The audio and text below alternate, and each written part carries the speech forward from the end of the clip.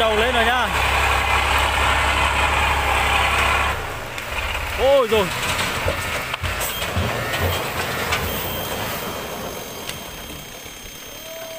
Hello, chào tất cả mọi người nhá Đây là mình đây Và hôm nay thì mình cũng sẽ lại uh, theo chân Và sẽ quay lại uh, cận cảnh chiếc xe đồ đi bốc cây cho mọi người cùng được xem nhá. Ở phía sau mình đây là con đường đi lên uh, chỗ uh, chiếc xe đang bốc cây Mà giờ hiện tại cũng gần tối rồi. Và anh em mình cùng chờ đợi và sẽ à, xem cận cảnh của ngày hôm nay sẽ như thế nào nha mọi người.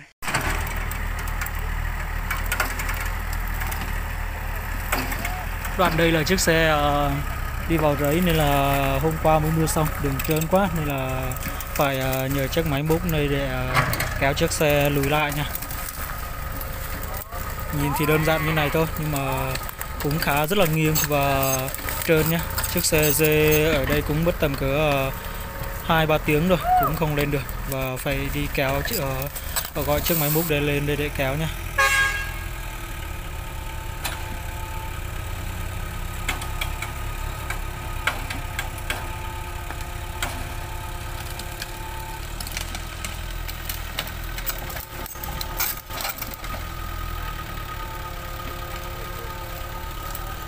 ở đây thì một đoạn à, khá là gần và chiếc xe à, đi lại thì cũng rất là khó khăn. Nên là chiếc máy xúc đây à, vừa kéo được một đoạn thì ra lại dừng lại rồi lại kéo lại nhá. Nên là mọi người nhìn thấy đây kéo rất khá là lâu nhá. đó, và giờ thì chiếc xe cũng lên tới chỗ đường cũng nói chung là cũng khá bằng được nhưng mà giờ sẽ tháo dây xích ra và sẽ dây đây bốc hàng đầy. Và anh em mình chờ đợi khi chiếc xe xong rồi đi về như thế nào nhé.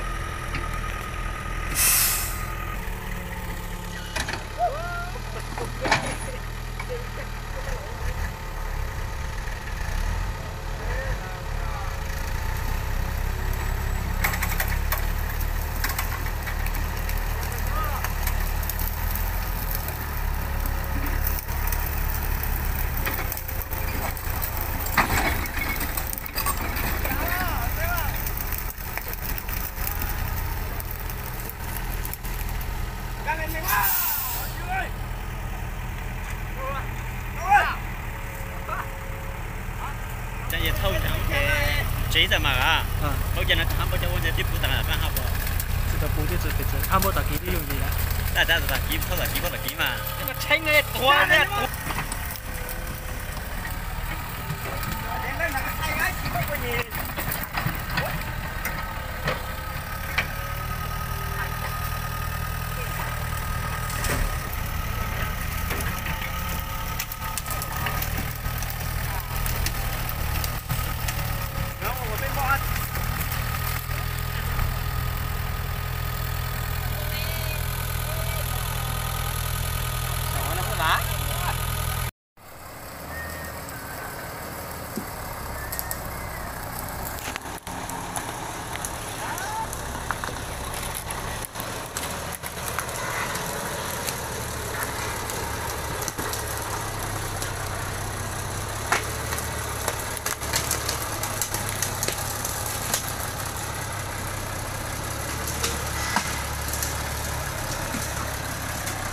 Đoạn đường đây thì ờ, vướng cục đá ở đây nhá. Rồi ờ, xe đi thì rất là khó khăn luôn. Đường hẹp nữa với lại xe dài thì đi rất là khó nhá. Giờ bác Tài sẽ ờ, rơi lại. Những xe ngắn đòn thì về là không phải rơi lại nhá, Mà xe dài thì phải dê lại Mà xem cách xử lý của bác Tài sẽ như thế nào nhá.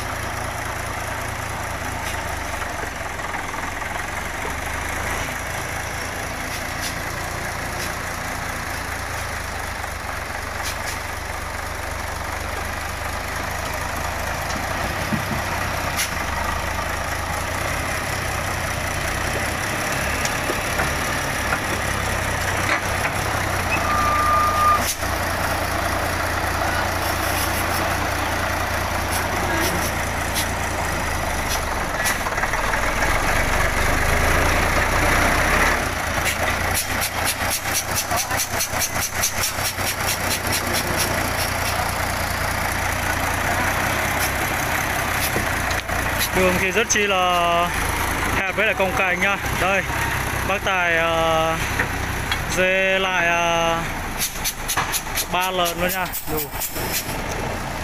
Quá xui xẻo luôn.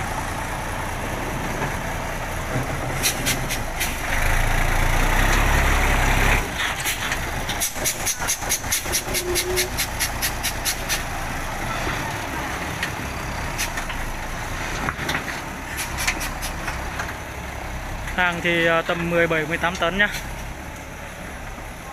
Chớp cỡ này thì nếu uh, cây dài thì uh, cũng uh, chắc cũng gần 20 tấn rồi mà do là cây đây nó ngắn nhá cũng chỉ bằng thùng thôi.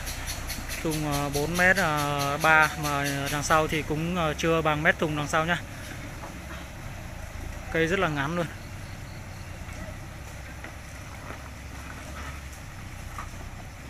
Vậy là giờ chiếc xe xuống rồi nhá. Và anh em mình cùng uh, chờ đợi và xem chiếc xe đi qua một con suối sẽ như thế nào nhá.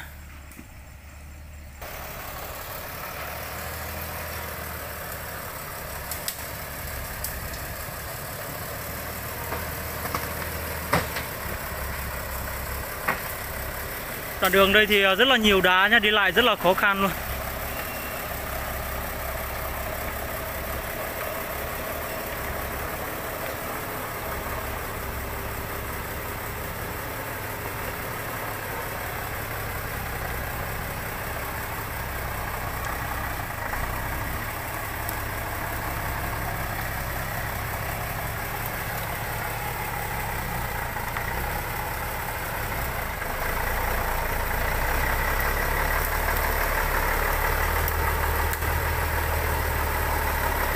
Mọi người nhìn thấy chỗ này như thế này thôi mà năm trước đấy là một chiếc uh, xe công tông nơ uh, một xe uh, cầu đấy thuộc uh, hãng của Đông Phen nhá.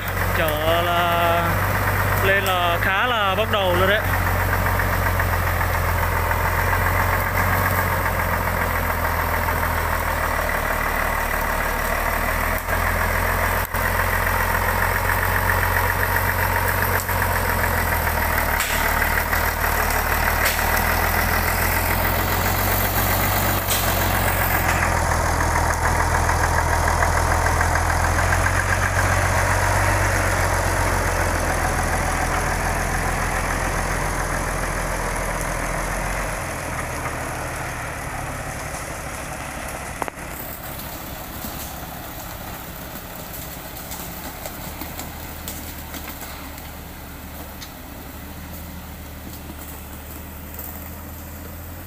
Giờ đây thì mình cũng sẽ dừng lại video đây. Mọi người xem video mình. Hay thì nhớ ờ, like, chia sẻ, đăng ký kênh để ủng hộ mình nhá.